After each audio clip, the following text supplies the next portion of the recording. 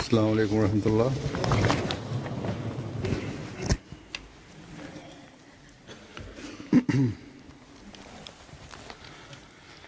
أشهد أن لا إله إلا الله.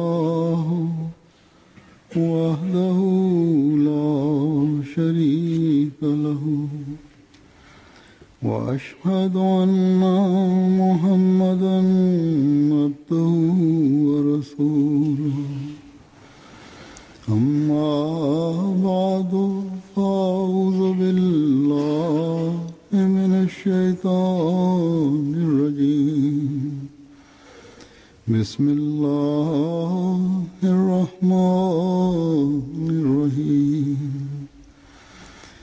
الحمد لله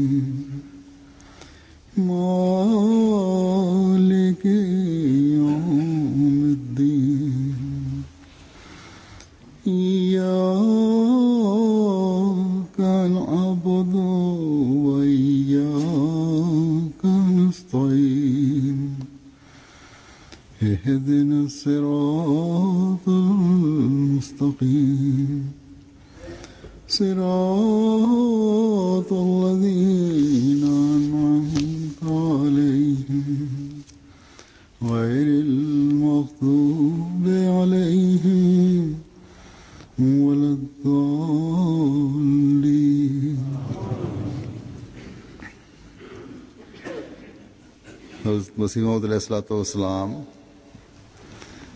दुआ की हकीकत बयान फरमाते हुए ஹஸ்ரத் மசிஹமோத் அலை சலாத்து வஸ்லாம் அவர்கள் துவாவின் உண்மைத்தன்மையை எடுத்துரைத்தவாறு ஓரிடத்தில் கூறுகின்றார்கள் ஒரு மனிதன் உலக வாழ்க்கைக்காக எவ்வாறு முயற்சிகளை மேற்கொள்வானோ அதனை போன்று இறை வழியிலும் செய்ய வேண்டும் பஞ்சாபியில் ஒரு பழமொழி உள்ளது ஜோ மங்கே சோ மர்ரஹே மரே மரேசோ மங்கஞ்சா.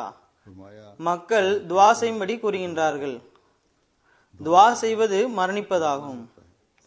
இந்த பஞ்சாபி பழமொழியின் அர்த்தம் என்னவென்றால் எவரிடம் அதிகபட்ச நிம்மதியின்மை இருக்குமோ அவர் துவா செய்வார்.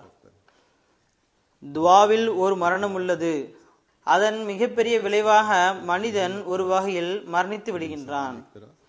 உதாரணமாக மனிதன் ஒரு துளி தண்ணீரை குடித்துவிட்டு எனது தாகம் தீர்ந்துவிட்டது என வாதம் செய்தால் அல்லது அவருக்கு மிகவும் தாகம் இருந்ததென்றால் அவர் பொய்யர் ஆவார் ஒரு குவலை நிறைய தண்ணீர் குடித்தால் என்றால் அது இந்த விஷயத்தின் சாட்சியமாகும். முழுமையான வேதனையுடனும் நிம்மதியற்ற நிலையிலும் துவா செய்யும் போது அதாவது ரூஹு உருகி இறை சந்நிதியில் விழுகிறது. இதன் பெயர்தான் துவாவாகும். மேலும் இறைவனுடைய நடைமுறை இதுவாகும். அதாவது இப்படிப்பட்ட துவாக்கள் செய்யும் போது இறைவன் அதனை ஏற்றுக்கொள்கின்றான் அல்லது அதற்கு பதில் கொடுக்கின்றான். அதாவது இந்த துவா ஏற்றுக்கொள்ளப்பட்டது என்றோ அல்லது இந்த துவா இவ்வாறு ஏற்றுக்கொள்ளப்படாது என தெரிவிப்பான். ஆக இதுதான் துவாவின் உண்மைத்தன்மை ஆகும் ஒரு சடங்கை போன்று துவா செய்யாதவர்கள் அதிர்ஷ்டசாலிகள் ஆவார்கள். அவர்கள் இறைவன் மீது முழுமையாக ஈமான் கொண்டவாறு அதாவது இறைவன் துவாவை ஏற்றுக்கொள்கின்றான் என நம்பிக்கை கொண்டவாறு மேலும் இந்த நம்பிக்கையுடன் முழு ஈடுபாட்டுடன் துவா செய்வார்கள். அல்லாஹு தாலாவிடம் ஏதாவது ஒரு விஷயத்தில் உதவி மற்றும் வழிகாட்டுதல் வேண்டுவதோ அல்லது தனது கஷ்டங்களுக்கு தீர்வு காண்பதற்கோ அல்லது இறைவனுடைய அருள்களுக்கு வாரிசாக வேண்டுமென்றாலோ இவை அனைத்தும் நிறைவேற வேண்டுமென்றால் ஒரு மனிதர் தனது அனைத்து ஆற்றல்கள் மற்றும் சக்திகளுடன் இறைவன் முன்பு குனிய வேண்டும். அவனிடம் துவா கேட்க வேண்டும். இன்று வரை இதுதான் நமது அனுபவமாக உள்ளது. இறைவன் இப்படிப்பட்ட துவாக்களை ஏற்றுக்கொள்கின்றான். அல்லது துவா கேட்கக்கூடியவருக்கு விருப்பத்திற்கு ஏற்ப இல்லை என்றாலும் திருப்தி அடைவதற்கான வழிகளை அவன் காண்பிப்பான். பிறகு துவாவின் அதபுகளை அதாவது ஒழுக்கங்களை விளக்கியவாறு ஓரிடத்தில் ஹசரத் மசிஹே மோத் அலை சலாத்து வசலாம் அவர்கள் கூறுகின்றார்கள். துவா மிகவும் அற்புதமான ஒன்றாகும். ஆனால் வருத்தம் என்னவென்றால் துவா செய்யக்கூடியவர்கள் துவாவின் ஒழுக்கங்களை தெரிந்திருப்பதில்லை.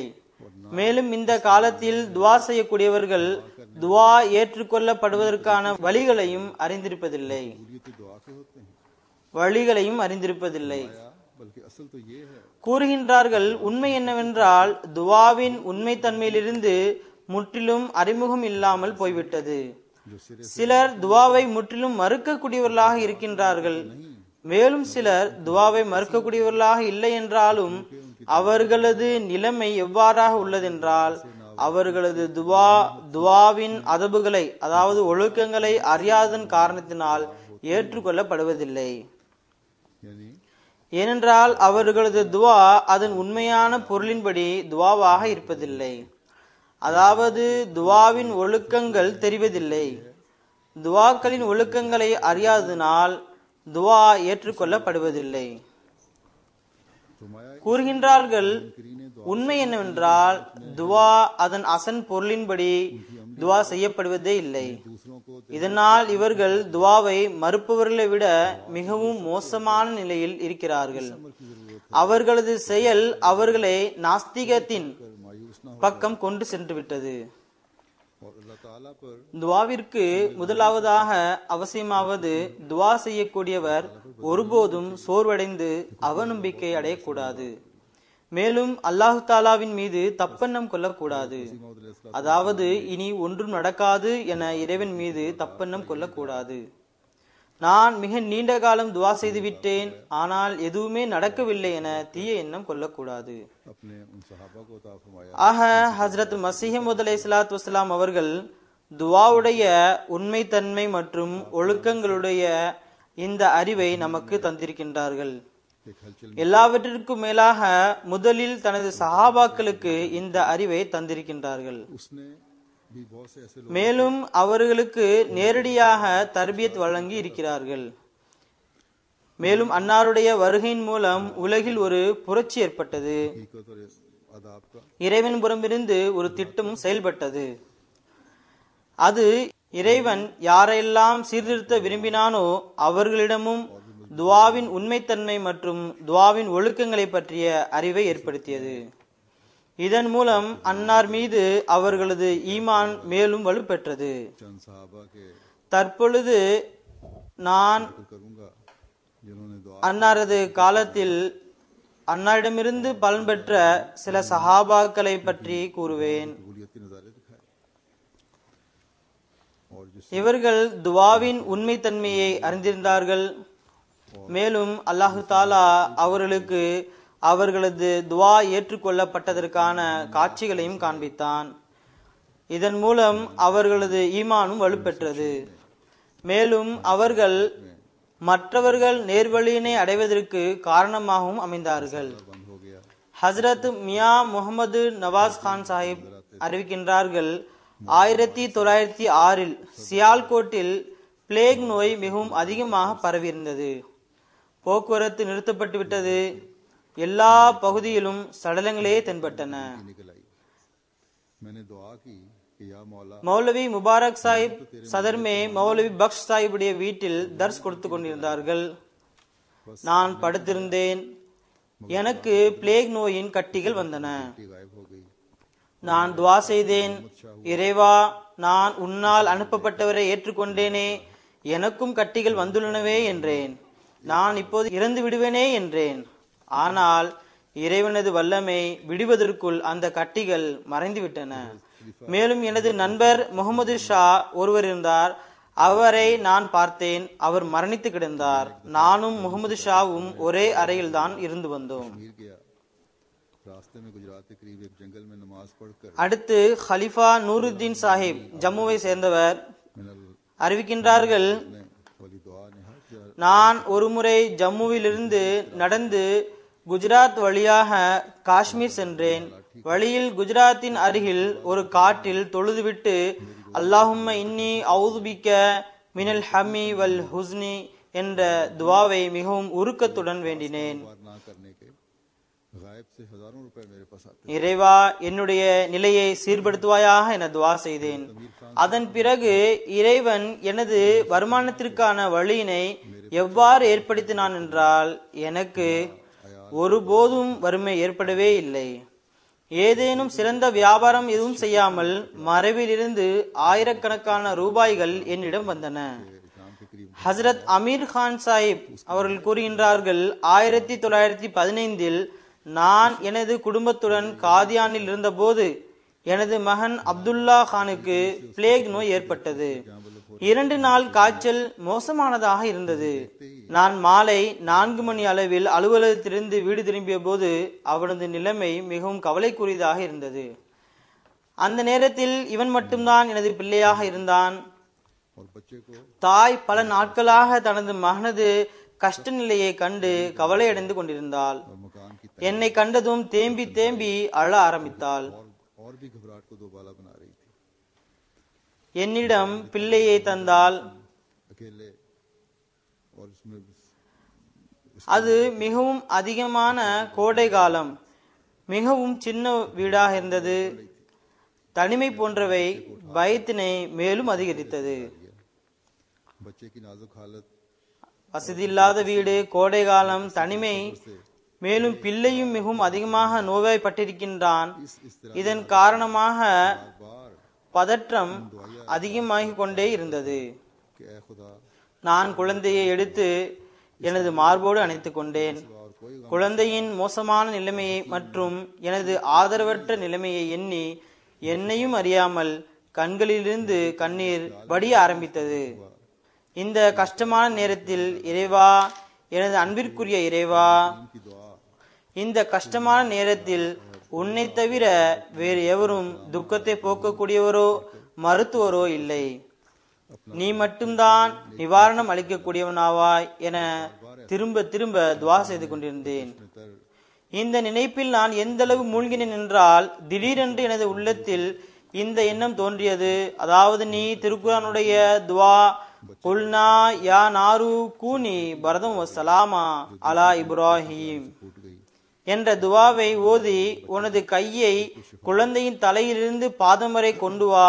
இதனை திரும்ப திரும்ப செய் என தோன்றியது. ஆகையால் நான் அழுதவாறு ஈரமான கண்களுடன் அவ்வாறே செய்தேன். சில நிமிடத்திலேயே குழந்தையின் காய்ச்சல் குறைந்தது. வெறும் கட்டி மட்டும் எஞ்சி மறுநாள் கட்டி ஆபரேஷன் செய்யப்பட்டது. நான்கு ஐந்து நாட்களில் குழந்தை முழுவதுமாக குணமடைந்தான். ஹசரத் சௌத்ரி அமீர் முகமது கான் சாஹிப் அறிவிக்கின்றார்கள் நான் எனது மனைவிக்கு ஹோஷியார்பூர் மருத்துவமனையில் மருத்துவம் செய்து ஒரு நீண்ட காலம் கழிந்தது. மூன்று முறை காலில் ஆபரேஷன் செய்தும் கால் குணமடையவில்லை. கருணை உள்ளம் கொண்ட ஒரு ஆங்கிலேய நர்ஸ் ஒருவள் இருந்தால் அவள் ஒரு நாள் எங்களிடம் நீங்கள் அனுமதி கொடுத்தால் உங்களுடைய காலை கணுக்கால் வரை வெட்டி எடுத்து விடலாம் என்றார். ஏனென்றால் இதுவரை இந்த கால் குணமடையவில்லையே என்றால் கங்கீரி உடைய நிலை போன்றுள்ளது. நோய் கணுக்காலுக்கு மேலே சென்றுவிடக் கூடாது என்றால் நானும் வீட்டில் உள்ளவர்களிடம் ஆலோசனை கேட்டு அனுமதி வழங்கினேன். அந்த நர்ஸ் எனது மனைவியை கணுக்கால் வெட்டப்பட வேண்டிய மற்றொரு அறைக்கு கொண்டு சென்றாள். நான் உடன் செல்வதற்கு நர்ஸ் சாஹிபாவிடம் அனுமதி கேட்டேன். இந்த ஆபரேஷன் எனது மனைவிக்கு நடக்கவிருந்தது அவர் என்னை இங்கேயே இருக்கும்படி கூறினார். ஆகையால் நான் அங்கேயே ஒழுது செய்துவிட்டு தக்பீர் கட்டி தொழுகில் ஈடுபட ஆரம்பித்தேன். மனைவிக்கு ஆபரேஷன் செய்வதற்காக அழைத்து சென்றிருந்தார்கள். நான் நஃபில் தொழுகையில் துவாவில் மூழ்கினேன். என்னுடைய எண்ணம் இறைவா நீ வல்லமை படைத்தவனாவாய். நீ விரும்புவதை செய்யக்கூடியவனாவாய். ஆக நீ இப்பொழுது கால் வெட்டப்படுவதிலிருந்து காப்பாற்று. ஏனென்றால் கால் வெட்டப்பட்டால் வாழ்நாள் முழுவதும் ஒரு குறையாகவே அது இருக்கும். உன்னால் முடியாத செயல் எதுவும் இல்லை. இந்த எண்ணத்துடன் சஜிதாவில் முழுவதுமாக உருக்கத்துடன் மன்றாடினேன். அப்போது பாதி மயக்க நிலையில் இந்த அழைப்பு வந்தது. ஒரு சப்தம் வந்தது. லா தக்னத்து மிர் ரஹ்மத்தில்லா. இந்த சப்தம் கேட்டவுடன் நான் சஜிதாவில் இருந்து தலையை உயர்த்தினேன். நான் என்ன பார்த்தேன் என்றால் நர்ஸ் சாஹிபா என்னை நோக்கி ஓடி வந்தார். வந்து சிவில் சர்ஜன் சாஹிப் இந்த முறை காயங்களை நானே தூய்மை செய்கின்றேன் என்றும் காலை வெட்டமாட்டேன் என்றும் காலை எப்போது வேண்டுமென்றாலும் வெட்டலாம். ஆனால் வெட்டப்பட்ட காலை ஒட்ட வைப்பது முடியாதாகும் என என்னிடம் கூறினாள். இறைவனுடைய இந்த வல்லமையின் வெளிப்பாடு மற்றும் இந்த அருளுக்கு அர்ப்பணம் ஆகிறேன். அவன் இந்த இக்கட்டான நேரத்தில் லா தக்னத்து என்ற நற்செய்தியை அறிவித்து அற்புதத்தை வெளிப்படுத்தினான். அவரது மனைவி கால் வெட்டப்படுவதிலிருந்து காப்பாற்றப்பட்டாள். ஹசரத் அமீர் கான் சாஹிப் அறிவிக்கின்றார்கள் ஒருமுறை ஆயிரத்தி தொள்ளாயிரத்தி இருபத்தி ஐந்தில் அஞ்சு மணியில் அதிக செலவுகள் ஆனதன் காரணமாக ஆட்குறைப்பு செய்யப்பட்டது. நானும் அதன் கீழ் வந்தேன். வீட்டின் தேவைகள் என்னை அதிகமாக கஷ்டப்படுத்தின. நான் இந்த வறுமையில் இறைவனுடைய சன்னதியை தவிர வேறு எதனையும் உதவி புரியக்கூடியதாக காணவில்லை. ஆகையால் அவனிடமே குனிந்தேன். அப்பொழுது ரமலான் மாதமும் வந்தது. இதில் அதிக அளவு துவா செய்வதற்கான வாய்ப்பு கிடைத்தது. பிறகு ஈத்திகாஃபில் மேலும் உருக்கத்துடன் துவா செய்ய வாய்ப்புகள் கிடைத்தன. அப்பொழுது பஞ்சாபியில் இல்ஹாம் இறங்கியது. தம்பட் ஜமானாக்கட் பலே தின் ஆவெங்கே இந்த நற்செய்தி வந்தும் கூட பல நாட்கள் ஆனது வறுமை மிகவும் வாட்டியது. மீண்டும் நற்செய்தி பாரிசில் வந்தது. கம் மஹ்சூஸ் ஆங்கே தரி தஷ்வீஷ் குர்மி பசல் யார்மே பீனம். இந்த நற்செய்திக்கு சில நாட்களுக்கு பிறகு இறைவன் எனக்கு ஆண் பிள்ளையே வழங்கினான் அவன் அவனது பெயர் மெஹமூத் அகமது ஆகும். அதற்கு பிறகு நான் ஆகஸ்ட் ஆயிரத்தி தொள்ளாயிரத்தி இருபத்தி ஆறில் காசியாத் காவல் நிலையத்தில் தொண்ணூறு ரூபாய் மாத வருமானத்தில் சப் இன்ஸ்பெக்டராக ஆனேன். அதாவது இறைவன் மாதம் முப்பது ரூபாய்க்கு பகரமாக மாதம் தொண்ணூறு ரூபாய் வருமானத்தை வழங்கினான். ஹஸ்ரத் பாபு அப்துல் ரஹ்மான் சாஹிப் ஹஸ்ரத் சௌத்ரி ருஷ்தம் அலி சாஹிப்புடன் தனது ஒரு பயணத்தை பற்றி கூறுகின்றார்கள். நானும் சௌத்ரி சாஹிப் மற்றும் இரண்டு மூன்று அகமதிகளும் ஒரு குதிரை வண்டியில் அமர்ந்து காதியான் வந்தடைந்தோம். இந்த பாதையினை முதன்முறையாக கண்டோம். எந்த அளவு சோர்வடைந்தோம் என்றால் வண்டி அதிகமாக குலுங்கியதன் காரணமாக உடல் வலி அதிகமாக இருந்தது. வழிபாதை அனைத்தும் குண்டும் குழியுமாக இருந்தது. பாதைகள் பண்படுத்தப்படாமல் சவக்குழியை போன்று காணப்பட்டன.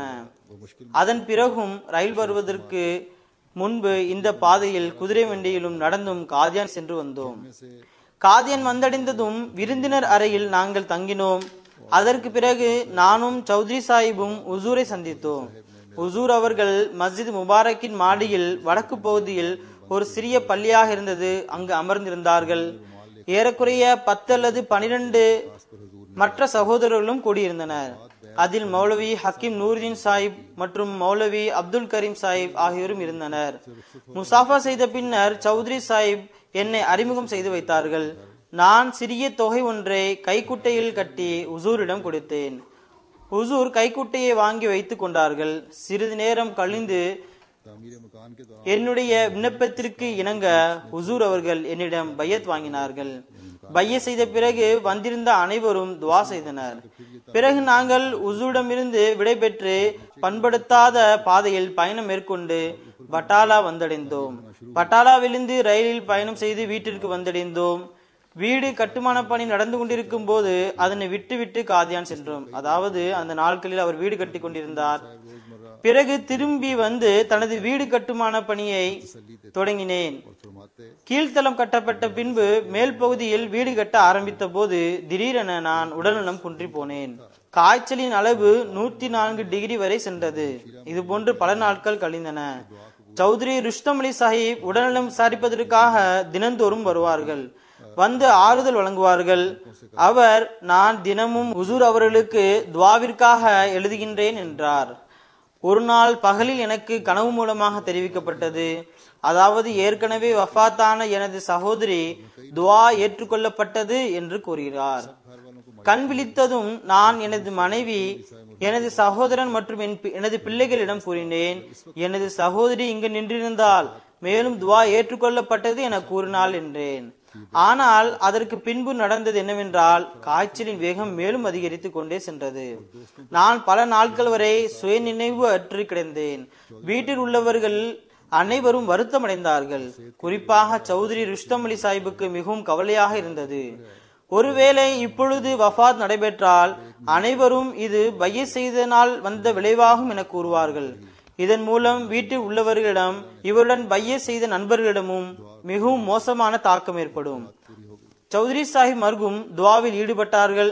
உடல்நலம் பெறுவதற்காக ஒவ்வொரு நாளும் உசூருக்கு கடிதம் எழுதி வந்தார்கள். இறைவனுக்கு நன்றி. எனக்கு நிவாரணம் கிடைக்க ஆரம்பமானது. ஒரு மாதத்திற்குள் முழுவதுமாக குணமடைந்தேன். நாங்கள் பெருநாள் தொழுகையை கடையில் தொழுதோம். அலமதுல்லா அல்லாஹு தாலா கனவில் துவா ஏற்றுக்கொள்ளப்பட்டது என கூறினான். அது முழுமையடைந்து விட்டது. ஹஸ்ரத் ஹாஃபிஸ் முபாரக் அகமது சாஹிப் அறிவிக்கின்றார்கள் ஹஸ்ரத் முதல் ஹலீஃபா அவர்கள் மௌலவி கான் மலிகான் அவர்களுக்கு தனிப்பட்ட கண்ணியம் அளித்து வந்தார்கள். இதற்கு காரணம் என்னவென்றால் ஹஸ்ரத் கான் மலி கான் சாஹிப் கூறி வந்தார்கள் மௌலவி சாஹிப் மாணவராக இருந்த காலத்தில் துவா செய்யுங்கள் நான் பெரிய மனிதனாக வேண்டும் என கூறி வந்தார்கள். பெரிய மனிதன் ஆக வேண்டும் என்பது மார்க்கத்தில் முன்னேறுவது என்பதாகும். கூறுகின்றார்கள் நான் ஹலிஃபாவுடைய இந்த கூற்றை கேட்டு அவருக்காக அதிகமாக துவா செய்து வந்தேன். நான் மௌலவி சாஹிபுக்காக துவா செய்தேன். மேலும் ஏற்றுக்கொள்ளப்பட்டதற்கான அடையாளங்களையும் கண்டு அன்னாருக்கு எடுத்து கூறினேன். நீங்கள் பெரிய மார்க்க பெரியவராகி விடுவீர்கள். அதாவது துவா செய்வதன் மூலம் மார்க்கத்தில் பெரிய மனிதராக வேண்டும் என்பதுதான் அன்னாரின் விருப்பமாக இருந்தது.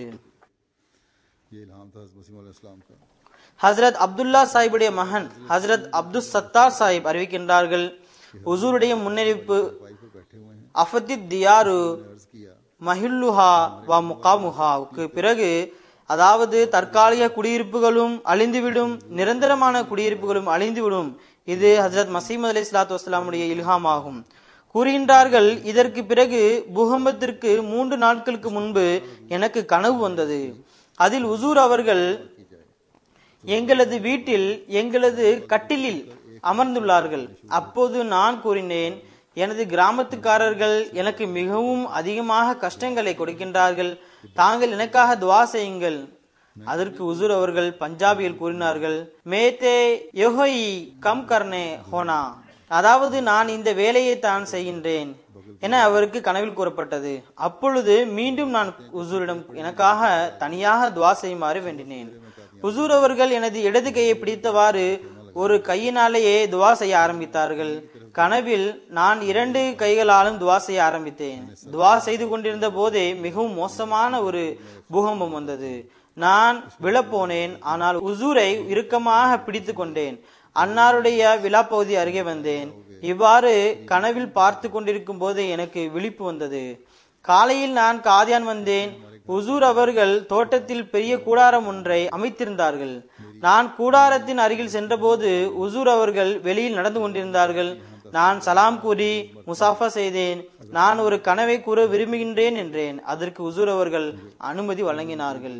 இந்த கனவை நான் உசூரிடம் கூறினேன். உசூர் இந்த வார்த்தையை நீர் காப்பாற்றப்படுவீர் என்பதனை ஏறக்குறைய மூன்று முறை கூறினார்கள். கூறுகின்றார்கள் இதற்கு பிறகு எனது வீட்டில் பிளேக் நோய் ஏற்பட்டது. எனது மனைவி மற்றும் எனது மகள் ஆகிய இருவருக்கும் பிளேக் நோய் ஏற்பட்டது.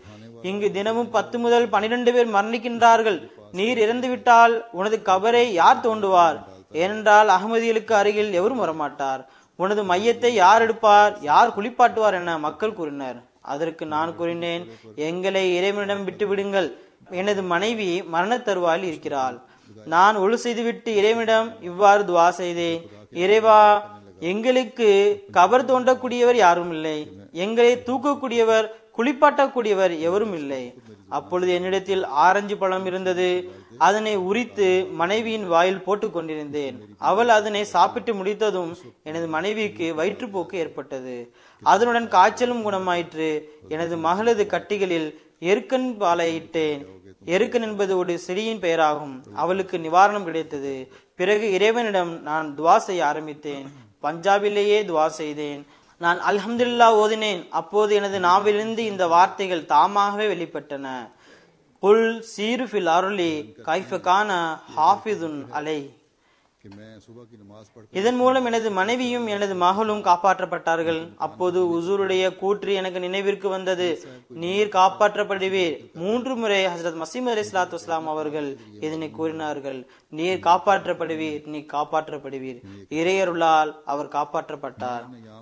ஹசரத் மீர் மெஹதி ஹுசைன் சாஹிப் அவர்கள் அறிவிக்கின்றார்கள் ஒரு நாள் நடந்த சம்பவம். நான் சுபு தொழுகை தொழுதுவிட்டு மஸ்ஜித் முபாரக்கில் இருந்து பீர் சிராஜுல் ஹக் சாஹிபுடன் அவருடைய வீட்டின் படியில் நின்று கொண்டிருந்தேன். பீர் சாஹிப் யாரையோ பற்றி பெரிய கதை கூறி கொண்டிருந்தார்கள். எனக்கு மறைவான அறிவிப்பின் மூலம் தெரிய வந்தது என்னவென்றால் எனது உயிர் ஆபத்தில் உள்ளது. அதாவது அவருக்கு ஓர் உணர்வு ஏற்பட்டது. நான் இந்த நாட்களில் உசூருடைய வீட்டிற்கு காவலாளியாக இருந்தேன். நான் அங்கிருந்து ஓடினேன். எனக்கு முன்பு முகமது அக்பர் கான் சனூரி சில பொருட்களை பஜாரிலிருந்து வாங்கி வீட்டிற்குள் நுழைந்தார். மேலும் உசூர் அவர்கள் மேலிருந்து கீழே இறங்கி வந்தார்கள். மியா மெஹதி ஹுசேன் இருக்கிறாரா? என்றார்கள். அக்பர் கான் இல்லை என பதிலளித்தார். அவர் ஏதாவது கடைகளில் இருப்பார் என்றார். நான் உடனே உள்ளேன் என கூறினேன். அக்பர் கான் சாஹிப் இவர் எங்கிருந்தாவது வந்திருப்பார் என்றார். ஹுசூர் அவர்கள் என்னிடம் இந்த திருக்குறானை கொண்டு செல்லுங்கள். இந்த கருத்துடைய வசனத்தை கண்டறிந்து அடையாளமிட்டு கொண்டு வாருங்கள் என கட்டளையிட்டார்கள். அப்பொழுது எனது நிலைமை எவ்வாறு இருந்ததென்றால் ஹசரத் மசீம் அலி இஸ்லாத் வஸ்லாம் அவர்கள் எந்த வசனத்தை தேடினார்களோ அதனை நானே கண்டறிந்து காண்பிக்க வேண்டும் என ஆசைப்பட்டேன். ஆனால் எனக்கு சாத்தியமற்றதாக தோன்றியது. பிறகு நான் இறைவனிடம் துவா செய்தேன். எவ்வாறு அல்லாஹு தாலா உடனடியாக துவாவை ஏற்றுக்கொண்டான் என்றால் நான் அங்கு நின்றவாறே இறைவனிடம் அந்த ஆயத் எனக்கே தெரியப்படுத்த வேண்டும் என துவா செய்தேன். இவ்வாறு துவா செய்த பிறகு நான் திருக்குரானை திறந்தேன். அப்போது எனது முதல் பார்வை ஹசரத் மசீமது அலி சலாத்து வசலாம் அவர்களுக்கு தேவைப்பட்ட அந்த வசனம் இது பட்டது. நான் உசூரிடம் ஆயத் இதோ இருக்கிறது என்றேன். அதற்கு உசூர் ஹக்கீம் ஃபசல்தீன் சாஹிபிடம் கேட்டு வாருங்கள் என்றார்கள். அதாவது ஹக்கீம் ஃபசல்தீன் சாஹிபிடம் சென்றுதான் அந்த ஆயத்து எங்கு உள்ளது என அடையாளமிட்டு வர கூறியிருந்தார்கள். நான் உசூர் அந்த ஆயத்து இதோ இருக்கிறது என்றேன். பிறகு ஆம் ஹக்கீம் ஃபசல்தீன் சாஹிபிடம் சென்று கேட்டு வாருங்கள் என்றார்கள். பிறகு மீண்டும் நான் உசூர் ஆயத்து இங்கே இருக்கிறது ஹக்கீம் ஃபசல்தீன் சாஹிபிடம் கேட்க வேண்டியது என்ன இருக்கிறது என்றேன். பிறகு உசூர் எனது கையிலிருந்து திருக்குரானை வாங்கி அந்த வசனத்தை படித்தார்கள். பிறகு ஆமாம் இதுதான் என கூறினார்கள். அதன் பின்னர் மேல் பகுதிக்கு சென்று விட்டார்கள். ஹஜ்ரத் ஹாஃபிஸ் குலாம் ரசூல் சாஹிப் வசீராபாதி அறிவிக்கின்றார்கள் எனக்கு தொடர்ந்து முழுமையாகவும் நினைவில் இல்லை. மாறாக பொதுவாக எனக்கு இது நினைவில் வந்தது. கடந்த கூறப்பட்ட விவாதத்திற்கு பிறகு ஹசரத் மசீம் அலி சலாத்து வஸ்லாம் அவர்கள் சார்பாக ஒரு பிரசுரம் வெளியிடப்பட்டது. சர்வசமய மாநாட்டை பற்றியதாக இருந்தது. அதில் உசூருடைய இல்ஹாம் எனது கட்டுரை மேலானதாக இருக்கும். அதாவது இஸ்லாமிய போதனை தத்துவ ஞானம் என்பது பற்றியும் இருந்தது. நான் அப்போது சில காரணங்களால் நோயாளியாக இருந்தேன். உசூருடைய இந்த வாதம் அதாவது எனது கட்டுரை அனைவரையும் விட மேலானதாக இருக்கும் என்பது மிகப்பெரிய வாதமாகும். இறைவனுடைய உதவி இல்லாமல் யாரால் இவ்வாறு கூற முடியும்? கூறுகின்றார்கள் நான் ஒருமுறை அஹலே ஹதீஸ் மௌலவியை லாகூர் இருந்து கஷ்டப்பட்டு மாநாடு நடக்கும் இடம் வரை அழைத்து வந்தேன். அவர் மௌலவி சனாவுல்லா மௌலவி முகமது ஹுசேன் பட்டாலி போன்றோரின் உரைகளை கேட்டார். அது எந்தவித தாக்கத்தையும் ஏற்படுத்தாத வகையில் இருந்தது. ஆனால் ஹுசூருடைய உரை ஆரம்பமானதும் கால் வைக்க இடமில்லை. மக்கள் எவ்வளவு அமைதியாக கேட்டார்கள் என்றால் எந்த விதமான சப்தமும் எழவில்லை. மேலும் பல அறிஞர்கள் மிர்சா சாஹிபுடைய உரையை கேட்பதற்காக தனது நேரத்தையும் அர்ப்பணித்தார்கள். நிர்ணயிக்கப்பட்ட நாட்களில் இரண்டு நாட்கள் அதிகமாக்கப்பட்டன. உரை முடிவை எட்டிய போது அப்போது நான் அதே இடத்திலேயே இறைவனிடம் துவா செய்தேன். பாருங்கள் அல்லாஹ் நல்ல இயல்பு கொண்டவர்களுக்கு எவ்வாறு நேர்வழி காட்டுகின்றான் என்பதை. அல்லாஹுவே இவர் உனது அன்பிற்குரிய ரசூல் சல்லல்லாஹ் அலேசல்லம் அவர்கள் முன்னறிவித்த அதே நபர் என்றால் அவருடைய பரக்கத் மூலம் என்னுடைய இந்த நோயை குணப்படுத்தி என்று துவா செய்தேன். மாநாடு முடிந்த பின்னர் நான் மாநாட்டின் பெரிய வாயில் வழியாக வெளியே வந்த பொழுது அல்லாஹுவின் மீது ஆணையாக எனக்கு எந்த விதமான நோயும் இல்லை என தோன்றியது. அன்று முதல் இன்று வரை அந்த நோய் எனக்கு மீண்டும் வரவே இல்லை. இவ்வாறு அவர் அகமதியானார் ஹசரத் அல்லா பக்ஸ் சாஹிப் அறிவிக்கின்றார்கள் கரம்தீனுடைய வழக்கில் ஆரம்பத்தில் ஆரிய சமாஜை சேர்ந்த சந்துலால் நீதிபதியாக இருந்தார். எனது ஒரு ஆரிய சமாஜ் நண்பர் கிருதாரிலால் இவர் கணக்கராக இருந்தார். இவர் என்னிடம் வந்து எங்களது கமிட்டியில் மிர்சா சாஹிபுக்கு மிகவும் கடினமான தண்டனை வழங்க வேண்டும் என முடிவெடுக்கப்பட்டுள்ளது என்றார். இதனை கேட்டதும் நான் உசூர் அவரிடம் இதனை எடுத்துரைத்தேன். அன்னார் துவா செய்யுங்கள் என்றார்கள். பிறகு நான் அங்கிருந்து திரும்பி வந்துவிட்டேன்.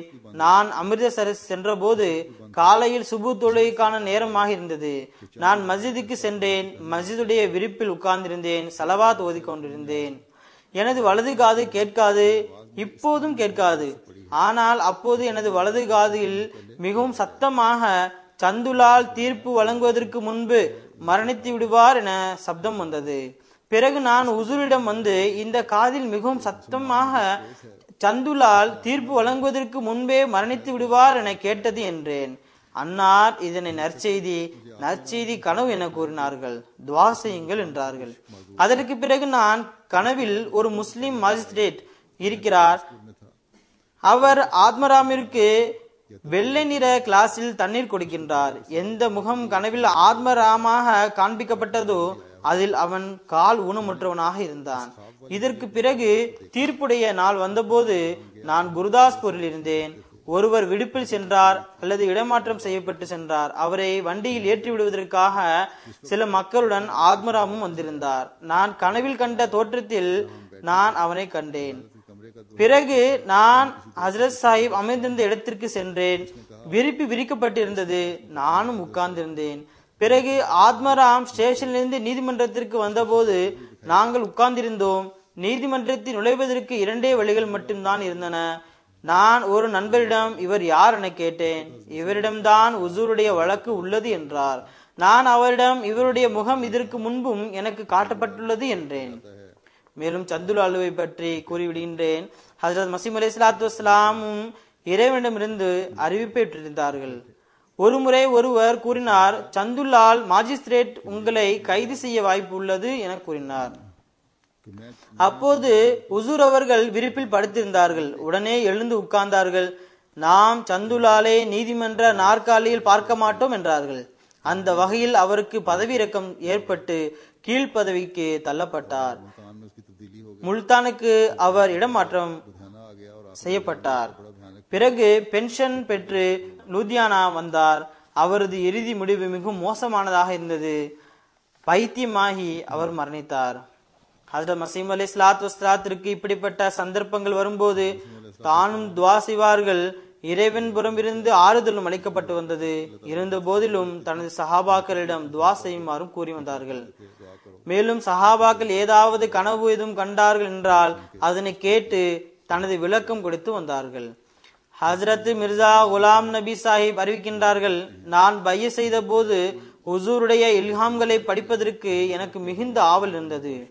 அந்த நாட்களில் ஜமீன்தார் பத்திரிகை மற்றும் வேறு பல பத்திரிகைகளில் உசூருடைய இல்ஹாமிற்கு எதிராக எழுதப்பட்டு வந்தது.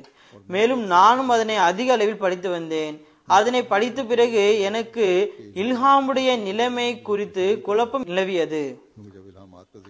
இல்ஹாம்களை பற்றி பத்திரிகைகளில் கூறும்போது எதிரிகளுடைய பத்திரிகைகள் அதற்கு மனதில் தோன்றியபடி எல்லாம் விமர்சனம் செய்து வந்தனர். இதன் மூலம் எனக்கு கஷ்டம் ஏற்பட்டு வந்தது. அவர் கூறுகின்றார் ஒரு நாள் நான் இறைவனிடம் துவா செய்தேன். இறைவா என்னால் இந்த உண்மையை புரிய முடியாது. நீ உனது அருளினால் எனக்கு புரியவை என்றேன். அதன் பிறகு மதிய வேளையில் திடீரென்று எனக்கு ஒரு புதிய உணர்வு பாதி மயக்கம் ஏற்பட்டது. இந்த நிலையில் வானிலிருந்து நீல நிற குதிரை ஒன்று இறங்குவதாக தென்பட்டது. அது பூமிக்கு அருகில் வரும்போது அதனுடன் நிறம் மஞ்சள் நிறமாக மாறுகின்றது. அதனுடைய கழுத்திலிருந்து மின்னலை போன்ற ஒரு ஒளி வெளியானது. எனது உள்ளத்தில் இது உங்களது நேர்வழி காட்டுபவரின் தோற்றத்தின் அடையாளம் என போடப்பட்டது. மிக விரைவில் இந்த பிரகாசம் பூமியை சென்றடையும் எதிரிகளின் நிறத்தை மஞ்சள் நிறம் ஆக்கிவிடும் இதற்கு சில மாதங்களுக்கு பிறகு ஹக்கீக்கத்துல் வகையில் கூறப்பட்ட உசூருடைய பிரகாசமான நட்சத்திரத்தின் அடையாளம் வெளிப்பட்டது. அந்த அடையாளத்தை பற்றி சுருக்கமாக கூறுகின்றேன். இதனை பற்றி ஹசரத் மசீம் அலி சலாத்து வஸ்லாம் அவர்கள் கூறுகின்றார்கள் இதற்கு பிறகு எந்த வகையில் பிரகாசமான நட்சத்திரம் என்ற இந்த முன்னறிவிப்பு நிறைவேறியதென்றால் சரியாக ஆயிரத்தி தொள்ளாயிரத்தி ஏழாம் ஆண்டு மார்ச் முப்பத்தி ஒன்றாம் தேதியில் இதில் மார்ச் ஏழிலிருந்து இருபத்தைந்து நாட்கள் கழிந்து உள்ளம் நடுங்கக்கூடிய ஒரு மிகப்பெரிய தீ சுவாலை வானில் வெளியானது. ஒரு மிகப்பெரிய பிரகாசத்துடன் எழுநூறு மைல் தொலைவில் அதனை விட அதிகமாக இது எழுதும்போது கூறுகின்றார்கள். பூமியில் பல இடங்களில் விழுவதை பார்க்கப்பட்டது. எவ்வளவு பயங்கரமாக விழுந்தது என்றால் ஆயிரக்கணக்கான மக்கள் அதனை பார்த்து ஆச்சரியமடைந்தார்கள். சிலர் மயக்கமடைந்து பூமியில் விழுந்தார்கள். அவர்களது முகத்தில் தண்ணீர் தெளிக்கப்பட்ட போதுதான் அவர்களுக்கு உணர்வு வந்தது. பெரும்பாலான மக்களின் கூற்று என்னவென்றால் அது நெருப்பின் ஒரு உருண்டை ஆகும். மிகவும் அசாதாரண முறையில் தோற்றமளித்தது. அது எவ்வாறு காட்சியளித்தது என்றால் அது பூமியில் விழுந்து புகையாக வானத்திற்கு சென்று விட்டது சிலருடைய கூற்று என்னவென்றால் வாளை போல் அதனுடைய பகுதியில் புகை இருந்தது. பெரும்பாலான மக்களின் கூற்று என்னவென்றால் அது மிகவும் பயங்கரமான ஒரு நெருப்பு ஆகும். அது வடக்கிலிருந்து வந்து தெற்கு பகுதிக்கு சென்றது. சிலர் தெற்கிலிருந்து வந்து வடக்கு பகுதிக்கு சென்றதாக கூறுகின்றனர். ஏறக்குறைய மாலை ஐந்து முப்பது மணி அளவில் இந்த சம்பவம் நடைபெற்றது. ஆக இது போன்று அல்லாஹு தாலா ஹசரத் மசீம் அலி இஸ்லாத்து வஸ்லாமுடைய சஹாபாக்களுக்கு துவாவிற்கு பிறகு அடையாளங்களை கூறியும் மேலும் அதனை வெளிப்படுத்தியும் உள்ளான். இதன் மூலம் இவை அனைத்தும் அவர்களுடைய ஈமானின் முன்னேற்றத்திற்கு காரணமாக அமைந்தன. ஆக துவா ஏற்றுக்கொள்ளப்படுதல் மூலம் பிரகாசமான அடையாளங்கள் மூலம் அல்லாஹு தாலா அந்த சஹாபாக்களின் ஈமானை மேலும் அதிகமாக உறுதிப்படுத்தியும் வழிப்படுத்தியும் உள்ளான். அது மசீம் அலி சலாத்து வலாம் அவர்களின் மூலம் துவாவின் உண்மைத்தன்மை மேலும் துவாவின் ஒழுங்குமுறை குறித்த அறிவு சஹாபாக்களுக்கு கிடைத்தது. மேலும் இதனை நம்மில் ஒவ்வொருவரும் பெற்றுக்கொள்வதற்காக துவா செய்ய வேண்டும். அல்லாஹ் நமக்கும் பிரகாசமான அடையாளங்கள் மூலம் துவா ஏற்றுக்கொள்ளப்பட்டதற்கான அடையாளங்களை காண்பிப்பானாக. நம்மில் ஒவ்வொருவரும் ஹசரத் மசீம் அலி சலாத்து வஸ்லாம் அவர்கள் மீது கொண்டுள்ள ஈமானில் உறுதியுடன் இருப்போமாக. அல்லாஹு தாலாவுடன் ஒரு சிறப்பான தொடர்பு கொள்பவர்களாக ஆவோமாக. இந்த துவா இன்றைய காலத்தில் ஒவ்வொரு அகமதியும் செய்ய வேண்டும். நான் கூறிய இந்த இல்ஹாம் அதாவது எந்த ஒரு தற்காலிக குடியிருப்பும் இருக்காது எந்த ஒரு நிரந்தர குடியிருப்பும் இருக்காது. உலகின் இன்றைய நாட்களில் தென்படக்கூடிய நிலைமைகள் மற்றும் உலக போர் ஏற்படுவதற்கான ஆபத்துகள். போன்றவற்றிற்காகவும் துவா செய்ய வேண்டும். அல்லாஹு தாலா ஒவ்வொரு அகமதியையும் அதிலிருந்து காப்பாற்றுவானாக. மனித குலத்தையே இதிலிருந்து காப்பாற்றுவானாக. மேலும் வரவிருக்கும் இந்த துன்பங்கள் யாவும் நீங்கட்டுமாக. இன்ஷா அல்லா சில வாரங்களுக்காக நான் மீண்டும் பயணம் செல்கின்றேன். துவா செய்யுங்கள். அல்லாஹு தாலா எல்லா வகையிலும் அருள் புரிவானாக. அமெரிக்கா மற்றும் கனடாவுடைய மாநாடுகள் எல்லா வகையிலும் அருளுக்குரியதாகட்டுமாக. உலகில் பாகிஸ்தானை தவிர சில நாடுகளிலும் அகமதிகளின் வாழ்வை கடினமாக்க முயற்சிகள் மேற்கொள்ளப்பட்டு வருகின்றன. அல்லாஹு தாலா இந்த தீங்கை ஏற்படுத்தக்கூடிய இதில் அரசாங்கமும் அடங்கும் தனது வல்லமையின் அடையாளங்களை வெளிப்படுத்தியவாறு இவர்களது தீங்கை அகற்றுவானாக. மேலும் அகமதியத்தின் உண்மையை வெளிப்படுத்துவானாக. எல்லா இடங்களிலும் அகமதிகளை எல்லா விதமான தீங்கிலிருந்தும் காப்பாற்றுவானாக